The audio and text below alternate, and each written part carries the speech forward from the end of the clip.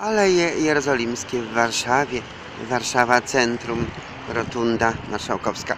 Proszę Państwa, co się nie spojrzę na, o, o, o, na ten budynek właśnie, to przypomina mi to ten hotel, który był opanowany przez Arabów. Mnóstwo ludzi rozstrzelali, wyciągali ich z e, pokojów gościnnych i kładli trupy, to znaczy nie, no, wyciągali na, na hol i tam rozstrzeliwali.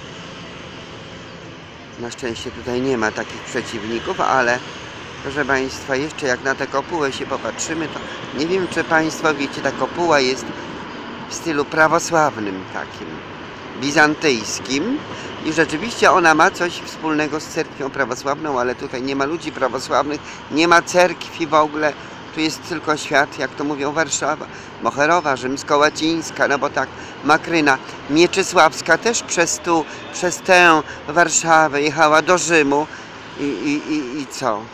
No, nie ma prawosławnych tu ani mormonów, ani ewangelików, ani świadków Jehowy. Nic tu z tych rzeczy nie ma.